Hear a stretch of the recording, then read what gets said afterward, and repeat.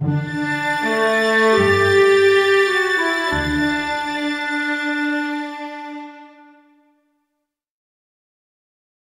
evening. My name is Rob Lydon. I'm pleased to welcome you to the fourth Chatham Marconi Speaker Series presentation of 2024. The widespread use of the internet is of global concern because much of the critical infrastructure that nations rely on for health, power, and security are susceptible to cyber threats. Tonight's program is Strengthening the Security and Resilience of Communications Infrastructure yesterday, today, and tomorrow. And it highlights these threats and what's being done to address them. A combination of virtual and physical threats is growing exponentially. Witness the recent AT&T uh, disaster with the, uh, the data that's been lost there. Especially as virtual connections to physical infrastructure via the Internet of Things becoming increasingly mainstream. These attacks become more common and likely more destructive. A strong communications and infrastructure posture that uses the latest technology will minimize the impacts and make targets less attractive. From climate change to cyber attacks, critical communications infrastructure systems must operate in an increasingly uncertain future. The years ahead will be marked by turbulence, fueled by unconventional conflict, natural technological disasters, all complicated by the increasing complexity and societal dependence on critical infrastructure. One of the essential tasks necessary for maintaining national security economic vitality, public health, and safety in a world filled with risk will be the continuing development, establishment, and maintenance of an effective national communications infrastructure posture. Ron Bearse' presentation will explain uh, the communications sector and the threats it faces, talk about lessons learned from recent case histories, and identify areas where investments in security and resilience have been effective. Following his presentation, Ronald will answer your questions. On the computer, enter your questions at any time by clicking on Q&A at the bottom of the screen and typing them in.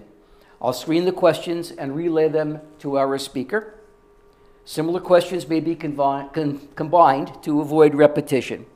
And without further ado, I'd like to introduce Mr. Ron Bearse. Thank you, Rob, and thank you, everybody. Um, you know, it's a pleasure to be with you today and an honor to be here at the Chatham Marconi Maritime Center to discuss the topic today strengthening uh, the security and resilience of critical communications infrastructure. A little bit about me. I spent 22 years with the Departments of Defense, Homeland Security, and Treasury in a variety of analytical and supervisory and senior leadership positions. I have my own consulting company named after me because I couldn't figure out a one name that I really liked. I'm also an adjunct professor at the Massachusetts Maritime Academy, teaching in their emergency management and homeland security program. I've been a critical infrastructure security and resilience academic advisor and lecturer and consultant to the NATO Center of Excellence for the Defense Against Terrorism in Turkey since 2014. I got a BA in political science and Soviet studies from the University of Massachusetts. I got an MPA from George Washington University I'm a distinguished graduate of the National Defense University in Washington, D.C., and uh, also a former fellow at the George Mason Center's uh, um, former uh, Infrastructure Protection and Homeland Security Center. A quick disclaimer, and I'm going to read it to you.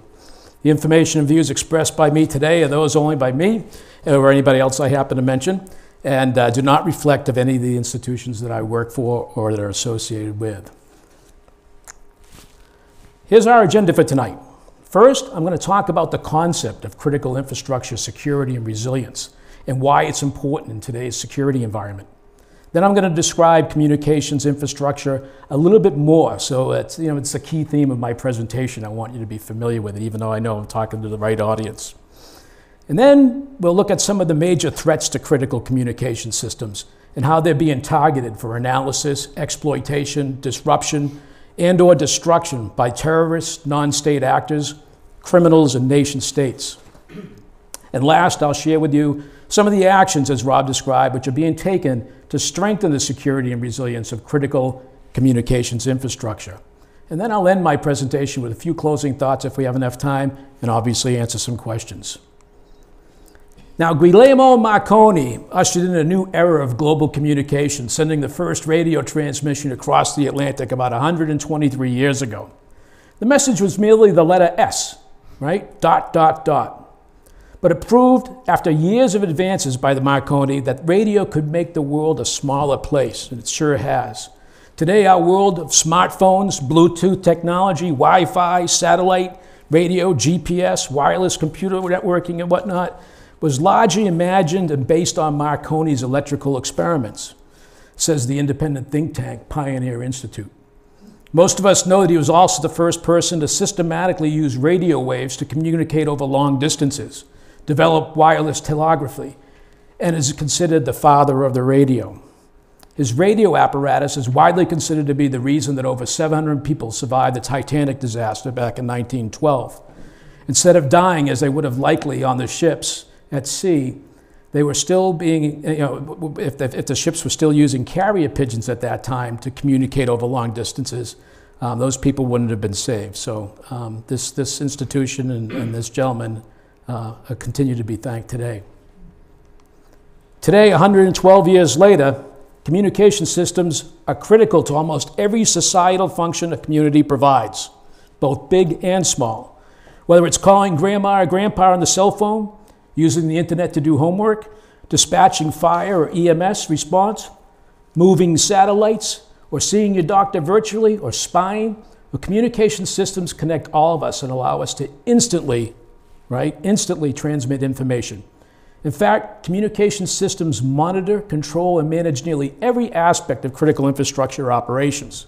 Without them, everything from providing clean water to managing the flow of electricity becomes much more difficult. Most Western nations have identified some or all of their sectors listed on this slide here as critical infrastructure sectors.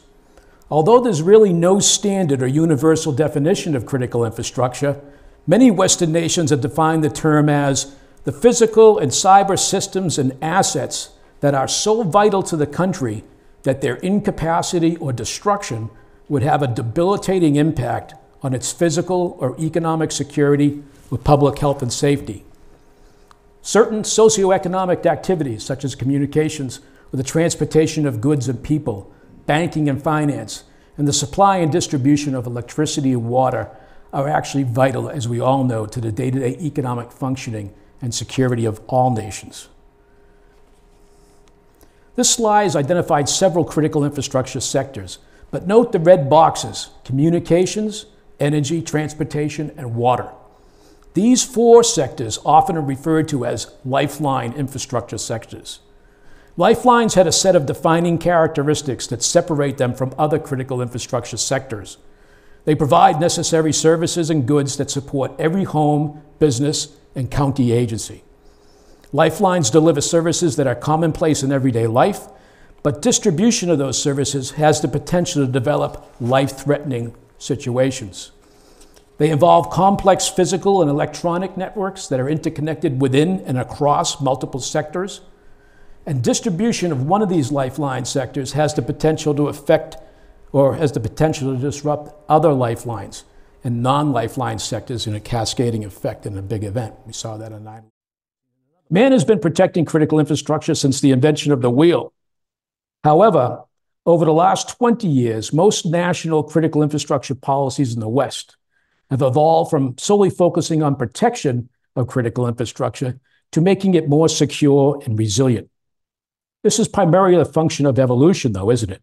Because today, when you look at the growing number of factors increasing the risk to critical infrastructure, it's impossible, I'll say it again, it's impossible to protect CI from all the risks that it faces. Under the CISR construct, the terms security and resilience certainly support the idea of protection, but they have specific meanings. The term security means reducing the likelihood of successful attacks against critical infrastructure or the effects of natural or human caused disasters through the application of physical means or defensive cyber measures. The term resilience means the ability of critical infrastructure to resist or absorb, recover from, or successfully adapt to changing conditions. Resilient infrastructure is robust, agile, and adaptable to withstand and recover rapidly from disruptions, deliberate attacks, accidents, or naturally occurring threats or incidents. In the context of increasing natural and man-made threats and the vulnerabilities of modern societies, which have exposed the limits of traditional risk assessment and risk mitigation efforts, the concept of CISR seems particularly useful to inform policies that mitigate the consequences of such events and speak to the vital need our, for our nations to develop and implement a comprehensive risk management strategy. The process of establishing and implementing and sustaining a demonstrably effective national CISR policy in any nation is very difficult. There are three basic tasks, though, involved in CISR. They are obviously assessing risk, increasing security, and enhancing resilience. The process of accomplishing these three tasks is extraordinarily complex and a major continuing challenge because it requires multiple streams of work to be performed by multiple government agencies, critical infrastructure owners and operators, academicians, subject matter experts, international organizations, and technology vendors. Some of the major work streams include some of the things you'll see on these slides, like defining clear roles and responsibilities for all stakeholders in this area, identifying and determining the criticality of national infrastructure or for critical national functions that have been done by the United States and other countries, mapping our critical infrastructure dependencies and interdependencies amongst other infrastructures, and determining critical infrastructure vulnerabilities. Other important work streams are using applicable risk assessment, analysis, and management approaches, establishing crisis management capabilities, establishing public-private partnerships between government and private sector owners and operators of critical infrastructure, and establishing and implementing collaboration and information sharing mechanisms between government and, again, critical infrastructure owners and operators. A couple of other work streams include developing and exercising continuity of operations and information technology disaster recovery plans, providing physical and cybersecurity resilience measures, ensuring the integrity and security and continuity of infrastructure supply chains, which has been an enormous challenge since COVID, and expanding opportunities to develop and deliver CISR education and training, implementing a robust training and exercise program so we can determine the extent to which our policy, our legislation, our plans, our procedures in this area, or our systems, and even our research and development are meeting or falling below or exceeding prescribed requirements, established standards, and what I like to say is an increasingly stringent stakeholder expectations. Securing a nation's critical infrastructure, making it more resilient against a wide range of current, emerging, and over-the-horizon risks is a complex and, again, continuing challenge. In fact, it's one of the most difficult things a nation can do. But failing to achieve the goals and objectives of critical infrastructure security and resilience policy is going to adversely impact our lives because critical infrastructure, again, is the foundation on which our vital society and economic functions rely. Rob already said it, so I'm not going to say this again, but he quoted me. That's great. So I'll go right to the next subject. Why is critical infrastructure important? Well, it's in the definition of the term, but let me talk to you a couple, let me just say a couple things to, to drive it home. Today, citizens, not only in our country, all over Europe and in many countries across the globe, demand or expect critical infrastructure or the functions that they accomplish to be available 24 7, 365.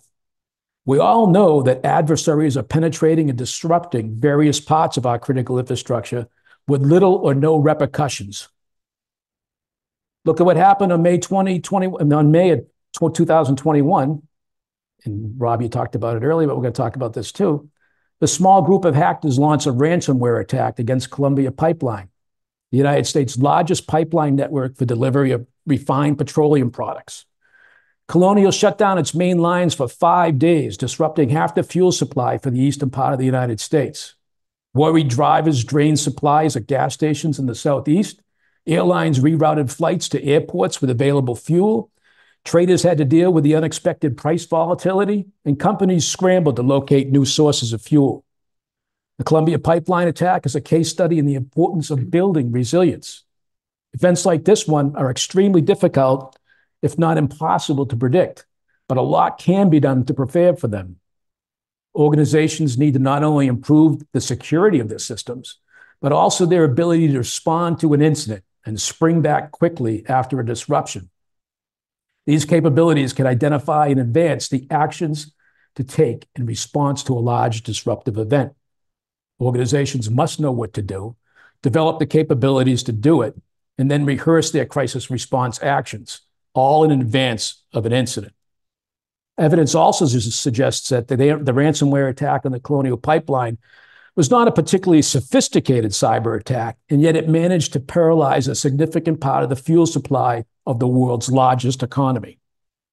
The Colonial Pipeline attack and many similar attacks before and since are made possible by the ongoing automation of traditional manufacturing and industrial practices. Using modern smart technology, which is driving us towards more intelligent and smarter operational networks, think communications, water, traffic management, air traffic control, defense systems, etc. Advances in automated technology, such as sensors and cybersecurity protections, can help those responsible for protecting critical infrastructure more efficiently understand potential threats, run diagnostics, predict potential changes in their systems, and strengthen the security and resilience of these critical infrastructure systems. Now that you have a pretty good handle on what critical infrastructure is and why it's important, let's talk a little bit more about the critical communications infrastructure sector, which consists of both physical and cyber components that deliver voice and video and data services, and is comprised of the following interrelated systems: broadcasting, cable, satellite, wireless, and wireline. This slide here shows the DHS, Department of Homeland Security, view of the communication sector architecture and identifies its many components. It's pretty complex, but I'll let you take a quick little minute to look at it.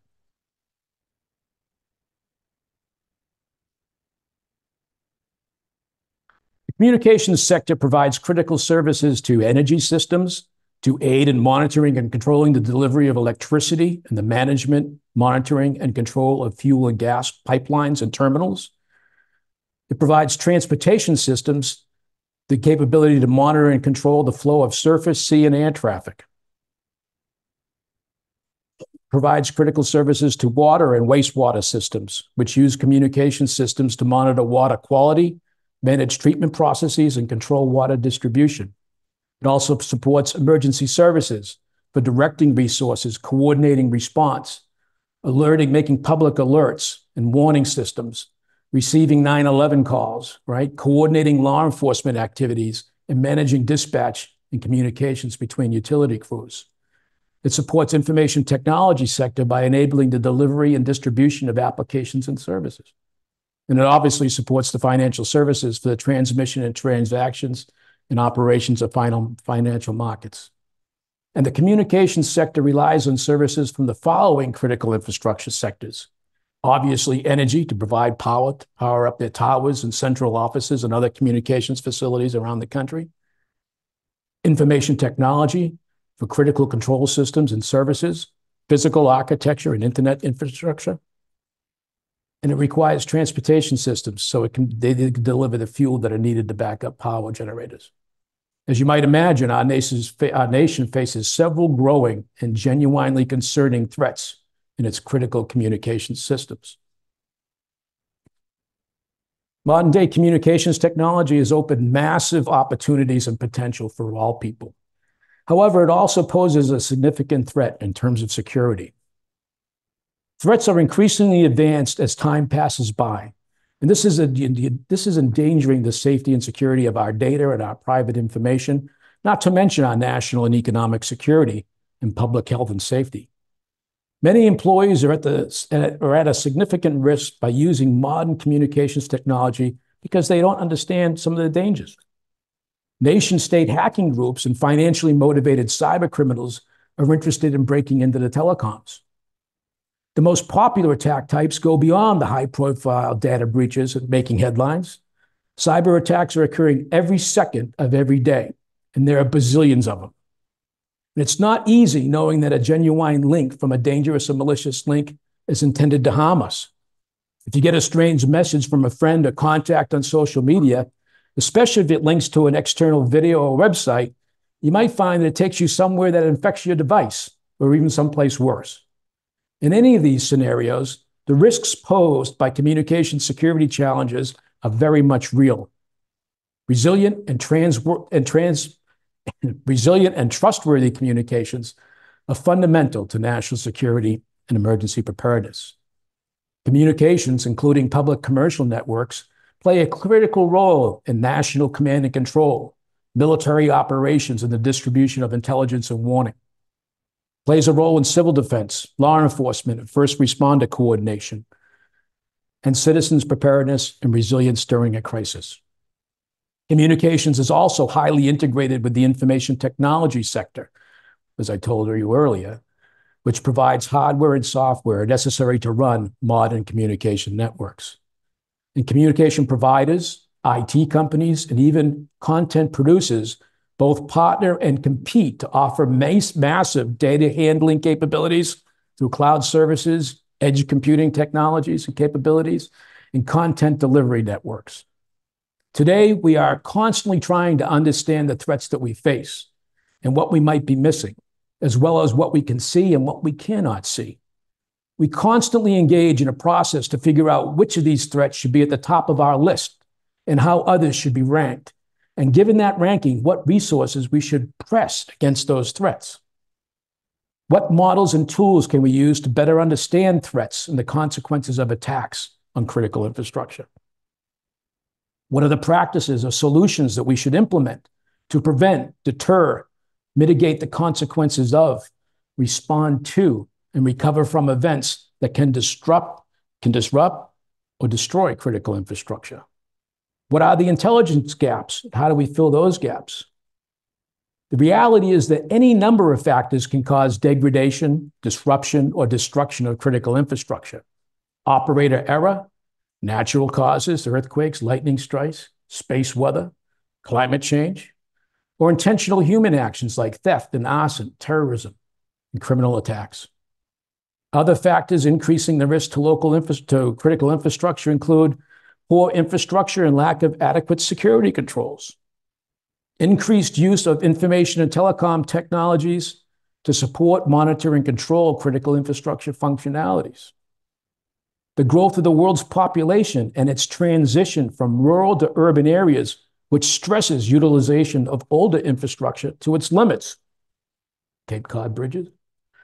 Increases, increasing dependencies and interdependencies across critical infrastructure sectors. Adversaries who increasingly understand that a successful attack can create havoc. And the fact that many nations increasingly depend on critical infrastructure partly or completely located outside their jurisdictional authority and over which they have little or no control. So there are a plethora of threats which have the potential to disturb, disrupt, and destroy critical communications infrastructure and other critical infrastructure. Talked about natural disasters. Like any other critical infrastructure, communication facilities and cable conduits are vulnerable to physical attacks, right? Satellite gateways and ground stations may also be vulnerable to attack. Radio frequency based communication systems, including cellular networks, national space positioning, navigation, and timing services, satellite communications, microwave links. They're also vulnerable to jamming or spoofing and interception. An interception does not seek to prevent communication, but instead targets the confidentiality of information passed along other networks. I'll leave it at that. Submarine cables are critical communications infrastructure. They are the greatest vulnerability in shallow water near shore up through the cabling facility, land facility. While satellite and deep water portions of undersea cables are typically beyond the reach of terrorist organizations, advanced nation state adversaries may have the means to direct or to target directly even the most secure critical communications infrastructure, not only targeting deep undersea cables by using deep sea submersibles, but also space based assets by using anti satellite weaponry. In addition to international attack, intentional attacks, accidental damage can also impact communications networks. Again, underground communication conduits can be damaged or destroyed during excavation or drilling, right? But please know that critical communication systems are unique in that they can both be the target of cyber attacks, but also a vector through which other critical infrastructure or systems are attacked. Distributed denial of service attacks attempt to make virtual resources unavailable or compromise defensive measures by flooding network resources with bogus information that consumes bandwidth and computing resources. Some cyber attacks seek to compromise online information systems to target the integrity and confidentiality of data.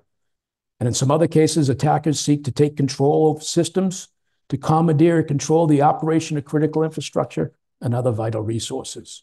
Talked about ransomware, like the one at the Colonial Pipeline, which seek to profit by sequestering vital records and systems from their users, then demanding payment to release their systems.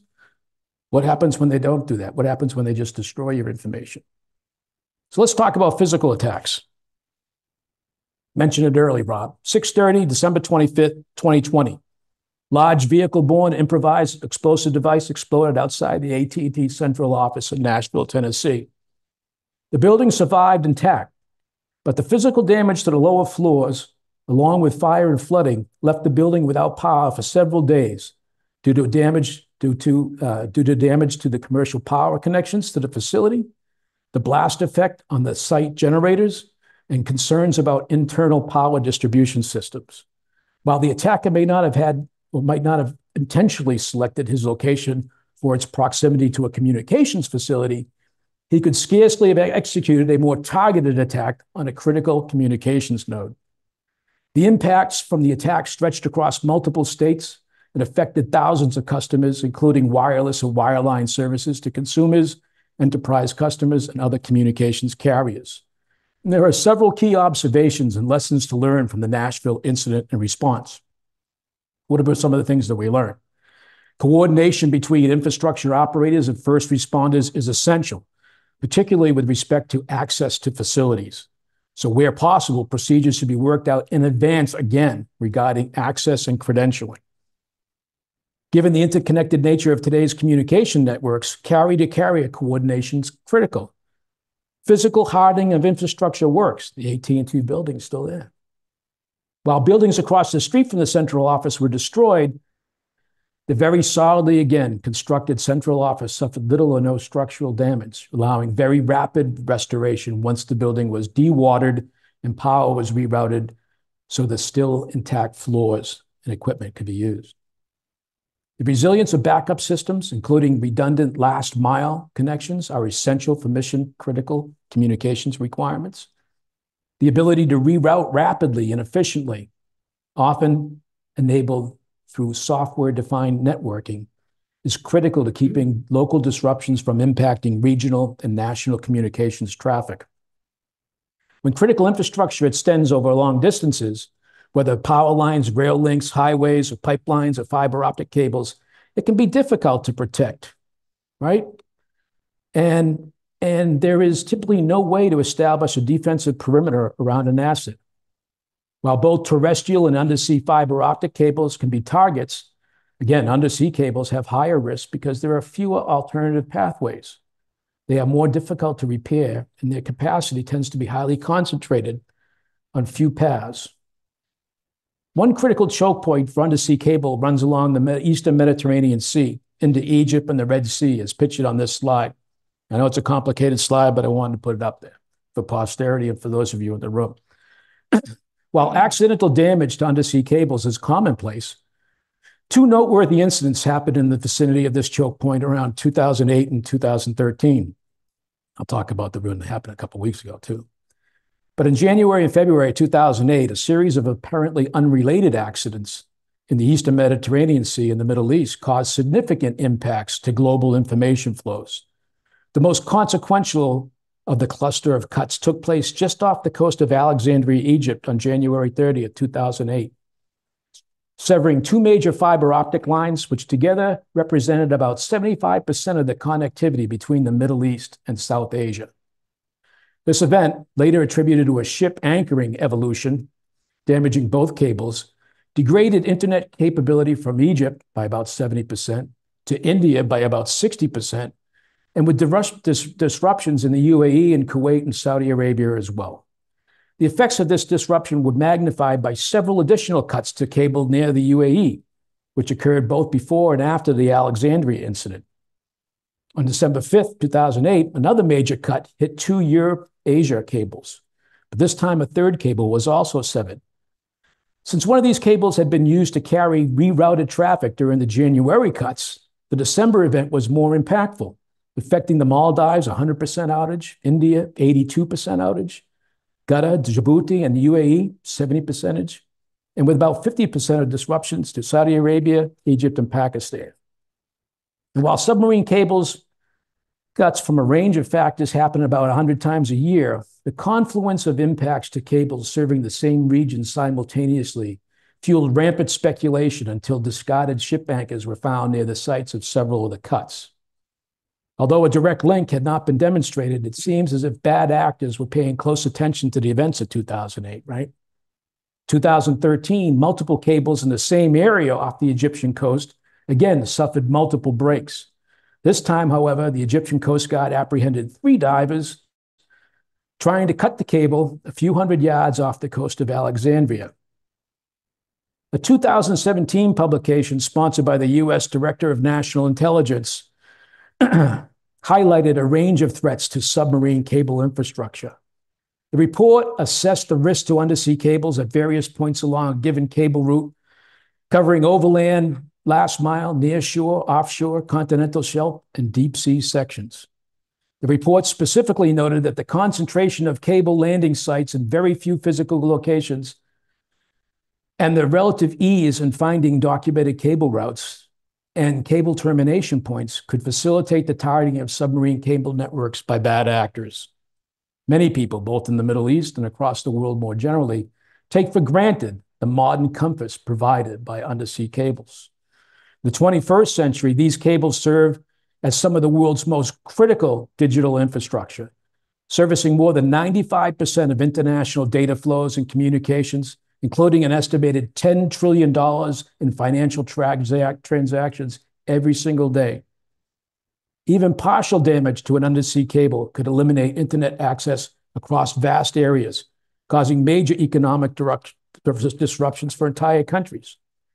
And even more concerning for the Gulf Cooperation Council states, the United States and Washington allies, damaging these cables could cut off military government communications. A month ago, three cables under the Red Sea that provide global internet and telecommunications were cut as the water, as the waterway remains a target of Yemen, of Yemen's Houthi rebels. What cut the lines remains unclear. There has been ongoing concern about the cables being targeted by the Houthi campaign, but the rebels describe as an effort to pressure Israel to end the war on Hamas in the Gaza Strip. The Houthis, of course, deny attacking the lines. While global shipping has already been disrupted through the Red Sea, a crucial route for cargo and energy shipments from Asia to the Middle East to Europe, the sabotage of telecommunications lines could further escalate months-long crises. The cables are the only hardware with enough bandwidth to accommodate the terabits of military sensor data that inform ongoing operations. In the years to come, as technologies like artificial intelligence develop, the amount of data required to sustain military operations is going to only increase. There are several options available to mitigate risk for communications cables, particularly from potential targets by terrorist groups.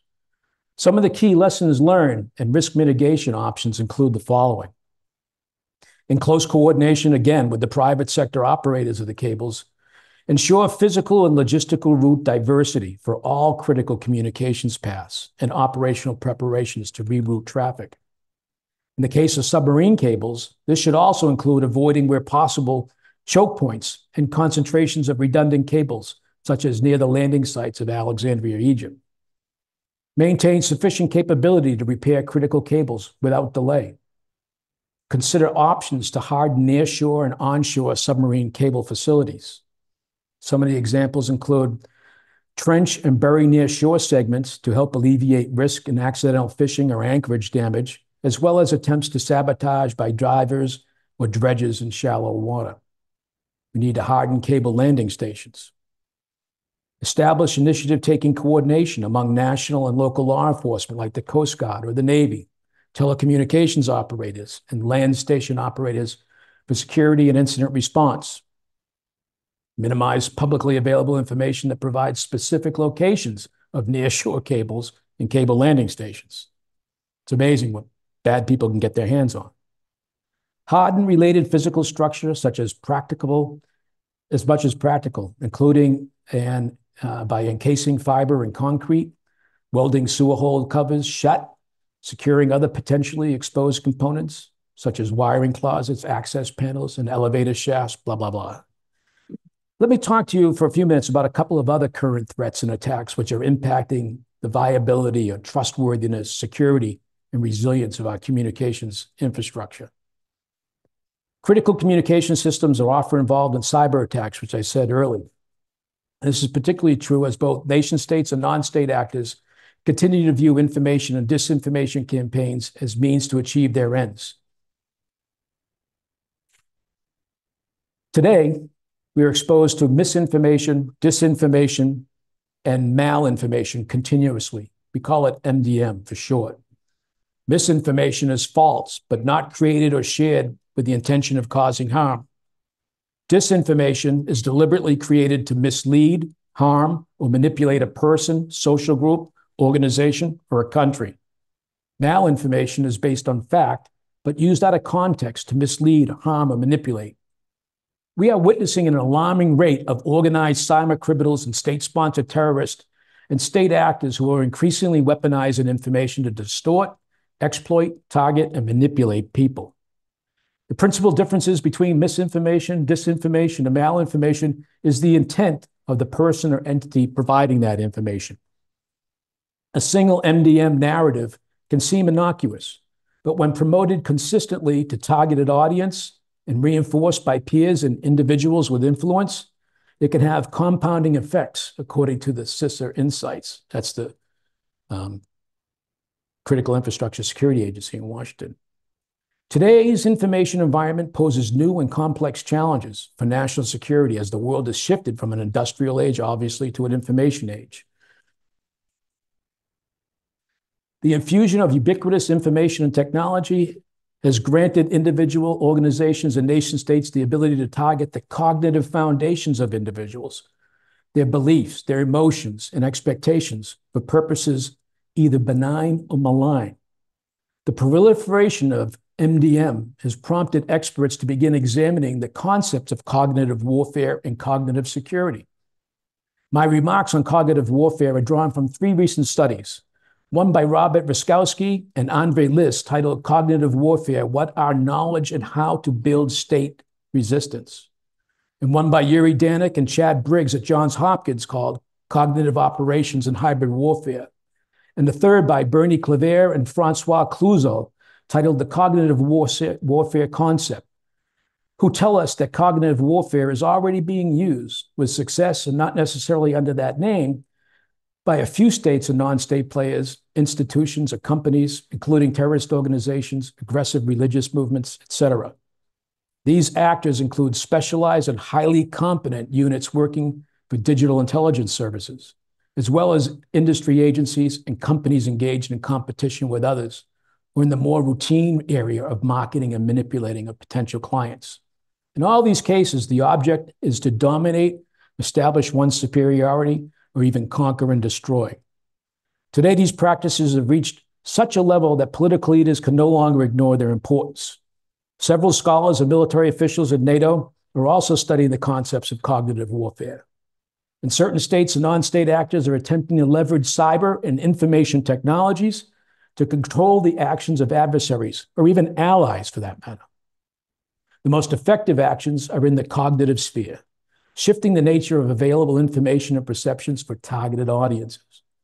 Internet technologies allow for asymmetric leverage of such tools, with smaller state and non state actors now able to influence much larger entities at modest cost, at great distance, and often anonymously. Given the excess costs paid by the aggressive states in kinetic warfare, often campaigns are conducted as hybrid conflicts, defined as actions conducted using a broad spectrum of tools to weaken and undermine one's adversary. Although the authors I mentioned a few minutes ago would agree, the battlefield for such wars is the territory of the human brain. They state that cognitive operations affect people's perception of reality and decision making and guiding groups and people and targeted audiences towards conditions, desires, and geopolitical effects.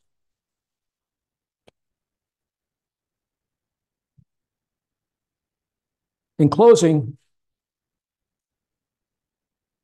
there are several important actions governments and industry can take to strengthen the security and resilience of commercial of, of critical communications infrastructure and promote communications sector security and resilience and they represent a good list of best practices for any nation.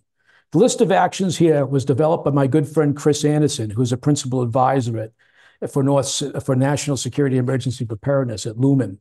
Last year, Chris and I uh, were uh, uh, involved in, in putting a book together for NATO right here. We wrote a couple of chapters on it and, uh, and uh, based on some of the work we've been doing for NATO.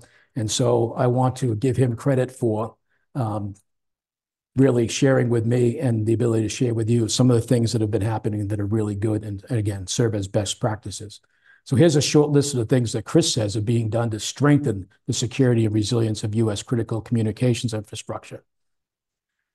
The security and resilience of the communications sector is immensely improved by a vibrant and strong public-private partnership, probably better than any other sector out there, among communications providers, national security professionals, and public safety officials. These relationships must be nurtured, well read, well ahead of time, and practiced routinely. Routine and regular interaction is necessary to build personal familiarity and establish trust. Establish basic coordination mechanisms via teleconferences or video conferences, in-person meetings, whatever it takes, which are used to share information and coordinate response during steady state operations and during times of crisis. Make sure you're pre-establishing disaster reporter process, disaster reporting processes. So all key stakeholders understand the expected, ex, expected cadence of reporting and have access to reporting templates and application programming interfaces to build internal reporting processes. And with all critical infrastructure, risk management activities, Promoting the security and resilience of communications is the most effective when the owners and operators of the networks are engaged early in the process. And they are, especially in this sector. Owner operators armed with the best available information about threats to their infrastructure are best positioned to make the most efficient investments in security and resilience initiatives to address those threats. But sometimes the government can provide a helping hand. Similarly, those reliant on communication systems benefit from a clear analysis of the risks to those systems in which they rely. Those who rely on connectivity for mission-critical military, public safety, or business requirements should work closely with network providers to understand and accommodate physical and logical route diversity.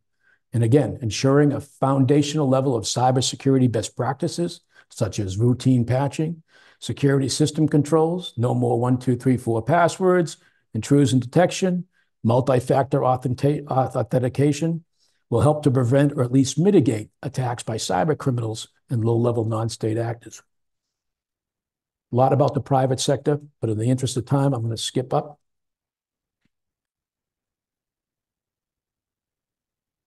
In closing, while it's important to look ahead, let us also look back to the past. In the third century BC, the Romans constructed aqueducts throughout their entire empire to bring water from outside sources to cities and towns to supply public baths, latrines, fountains, and private households.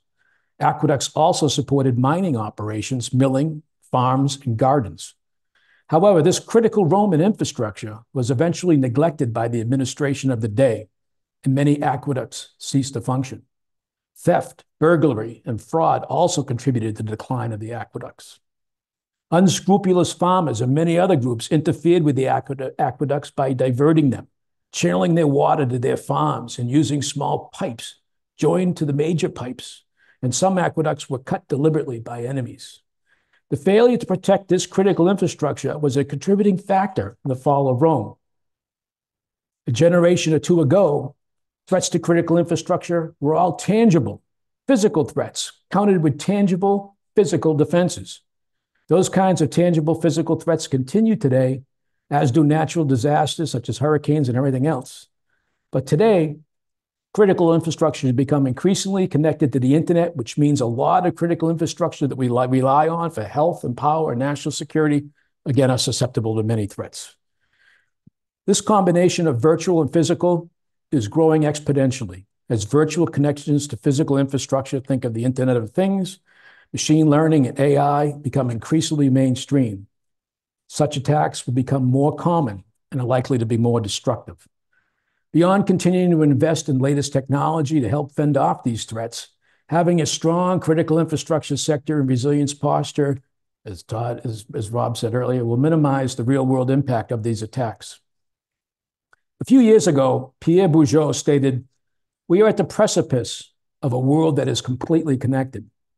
From smart cities to smart buildings, with the use of machine learning and deep learning, we are closer to ever to being completely converged." This is also our Achilles heel, he said, which may lead to a disaster that we can't imagine. The need for our understanding of these threats from the lowest to the highest parts of our organization is crucial. However, the time for education is growing short. It's either we get it or game over, he said. Therefore, it's essential for owners and operators of critical infrastructure to be prepared for the threats they can anticipate and to be able to respond to the unexpected to provide the essential services upon which society depends. I don't have to remind you, but Secretary Rumsfeld said a couple of decades ago, "Reports that say that something has not happened are always interesting to me because, as we know, there are known knowns, and there are things we know we know. We also know that there are known unknowns. We know there are some things we do not know, but there are also unknown unknowns, the ones we do not know we do not know." And if one looks throughout the history of free countries, it's the latter category that tends to be the difficult one. Indeed, the known unknowns refer to the threats and risks which we are aware of. Unknown unknowns are the risks that come from situations that are so unexpected they would not be considered. And to identify the future threats to critical infrastructure, we must try to envision them. We also know that in the years ahead, we're going to be marked by turbulence, fueled by conventional conflict, and fraught by natural and technological disasters and issues resulting from the increasing complexity of and dependency on critical infrastructure. It's instructive at this point, right at the end here, to share a poignant observation made by information security expert Ben Rothke, who stated about 10 years ago, "The biggest threat to critical infrastructure is the result of decades of insecurity combined with an inadequate response to current known threats and vulnerabilities." Rothke's observation continues to haunt governments and components alike and companies alike. And it underscores the urgent need for all critical infrastructure stakeholders to foster the type of cooperation, coordination, collaboration, communication, and concentration required to harness the wherewithal necessary to demonstrate strength in critical infrastructure resilience. So thank you for the time this evening. I'm going to leave it here, open it up to questions. I hope you found that interesting. Um, from there, thank you. Thank you. And just a reminder, asking a question is easy. Uh, for the folks at home, just click on Q&A at the bottom of the screen and type in your question. And we'll uh, alternate between questions asked here, the uh, in-person audience, and those that we see on the screen. Any questions from the in-person audience that you'd like? Yes. On a local level, do the police departments aware of all this going on so they can protect us at that level? Okay, let me repeat the question for the at-home audience. Does local uh, law enforcement and first responders understand the threats that you've talked about? To some extent, yes. Right? Police departments have long been involved in protecting things that are critical. Um, they have been used by government agencies to help protect things that are critical. Do they understand why things are critical? that they understand that there are critical infrastructure maybe in their backyards? some may, some not. Do, does law enforcement in general, and even at the local level, get briefings on critical infrastructure? Sure. The Department of Homeland Security provides a lot of stuff. But a lot of things that I talked about today are really strategic and, and basically national level activities with owners and operators. So, um, so I think I know what you're hitting to in your question, but I think our law enforcement does pretty well at what they're doing. Um, they have adequate knowledge uh, for things in their area that are essential. If something happens they can't handle, right? They know who to call if they can't handle it. Absolutely. I spent many years working for Homeland and understand police departments too, fire service. Any other questions? Yes. Nothing. Um, again, great presentation. Thank you. Uh, Thank you. Um, you spoke about the public-private Yeah. partnerships. And of course, the big companies, the Yep. very large ones in the United States and even in Europe. Right. You know, that, that relationship is key, but it's key if it's proactive. And the question to you would be more around, how good are we on, on those pro, those partnerships at the proactive level versus the reactive level? And what can be done differently to get more proactive? Good, good question. Okay, And, for the uh, folks at home, the question was public-private partnerships, uh, can they uh, be effective if done proactively and to what extent has it happened? I like to say in critical infrastructure, security and resilience, it's not what you do that's important, but how you do it. So a quick answer to your question is going back to a phrase that I coined called the five C's, cooperation, collaboration, coordination. The people that run these partnerships need to be proactive. They need to be appointed either by from their industry or from the government side. They need to be appointed and they need to be able to take control. Over the last 40 years or so, or certainly the last couple of decades, I think we've been able to see many Western societies uh, where their public-private partnerships for critical infrastructure kind of wax and wane commensurate with those capabilities being displayed in those information sharing and advisory councils that we're members of, Raytheon being one, probably belongs to a number of them. Um, but some of them, like the communications and financial uh, services ones, work very good. They're very committed. And when you think about what they do for a living, they have to be. And so they're models. They're models not only for us, they're models for Western Europe and other countries that are aspiring. It's amazing um, that we see these development of public-private partnerships uh, taking place in, places where you wouldn't expect it. But yeah, it's not easy. It's a lot of work. And part of the making those public partnerships work is there were many years when when private industry really didn't really want to work much with government. It's like you want all the information from me, but you're not really giving me anything. And I can remember the fights in Washington that would go back and forth. And uh, and we've gotten to the point now where I think we're beyond that. I think that most people, and, and certainly the big companies, but in the sectors themselves, they realize that there's more. There's more. What's happening here? Uh, we're not the big monolith that can that can get by living in an ocean all by itself. There are real threats, and uh, but we need to pay attention to that. Um, but again, um, it, everything is personality driven. Everything is human beings. So I could talk a big picture here, but it's people that make those things work. It's people that run those organizations, those partnerships that that that help define those work streams that get done. All those different areas I talked about. But yeah, the people person is very important. Um, so, um, can better things be done? Sure. But, but all in all, pretty good. Hope that answers your question. Yeah. Yeah, we have a question from the at-home audience. How frequently uh, are U.S. government systems uh, violated and disruptive? Violated every second of every minute of every day of every week of every last couple of decades. Disruptive? Enough. I mean, we have industries that uh, disruption happens. I mean, the whole idea of resilience is being able to take that disruptive shot, bounce back, respond, be agile, build your systems that can take that hit, or build your software that can fix things really quickly or intercept those threats from coming in originally. So, um, all in all, we only seem to hear about the real big ones, right? And the ones that affect us, the ones where we get something in the mail that says our identity has been stolen, whether you're AT&T or 43 million here or 17 million there, whatever it is. Um, but I would uh, I would be honest with you to tell you that probably a little bit more than, than meets the eye. A little bit more than meets the eye.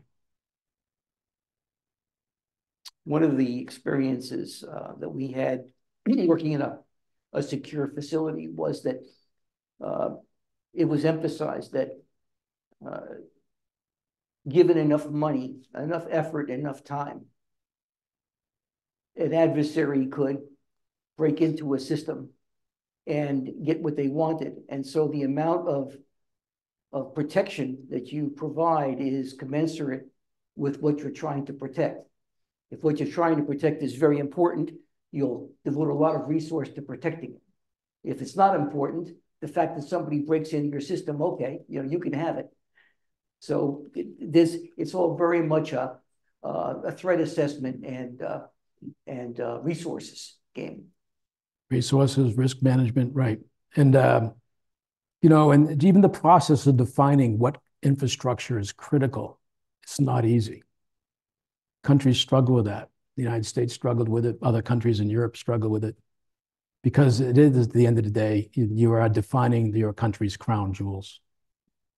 And uh, I'll leave it at that. Any last questions? Any other questions? Anything else on your mind tonight? Sure. Good. Sure, good. Um, I, I guess the question about the new entrance. So we have. I'm sorry? A new entrance with regard to infrastructure. So something like Starlink Yes. and what's coming along with Amazon and what's coming along with others who are going to be putting a number of sats in the sky. Um, again, how, how's that being thought about as getting ahead of it? Because it's always difficult to, you know, go and touch satellites if they're up in the sky already. So how, how are we getting ahead of it? What's your thought? Okay, for the folks at home, the question is, uh, does the deployment of uh, communications infrastructures uh, that are satellite-based uh, present special problems for uh, getting in front of uh, potential adversaries? Some of these things I, I really can't talk about. However, um, you have to hope that government authorities and people from the sector understand, whether they're told directly or understand intuitively, that what they're doing is very important. Or if something really happens to their things that they're flying or putting below the surface of the, you know, um, something happens to it, a lot of bad things are going to happen. Um, NASA, other organizations, standards and things that have to be met before you put anything in space, you know, are they are they up to speed?